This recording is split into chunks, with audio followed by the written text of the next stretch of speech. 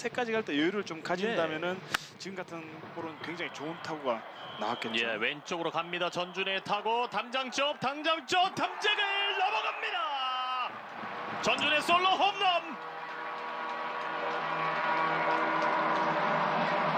시즌 첫 홈런이 이 경기에서 터집니다.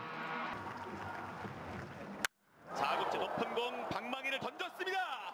이 타구가 아름다운 비행을 이렇게 마칩니다. 여기서 전준우 타자의 또한 방이 나오네요. 전준우의 동점 투런.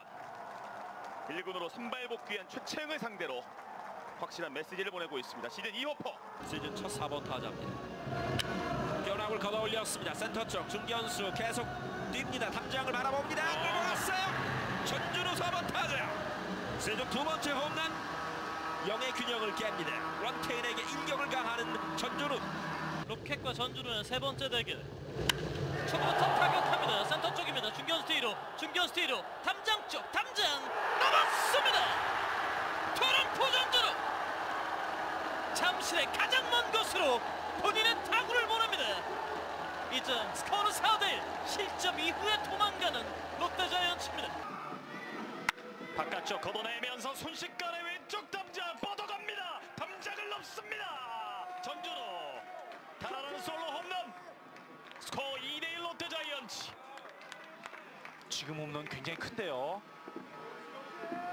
지금 no ball two strike에서 만들어낸 홈런이었어요. 예. 자, 2사의 주자 3루 풀 카운트.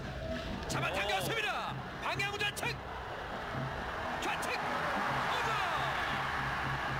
추격의 투런 홈런. 시즌 여섯 번째 홈런 기록하는 전준우 선수 이제 8대 4.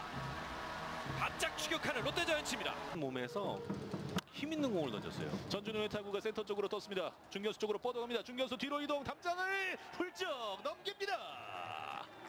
전준우의 솔로 홈런.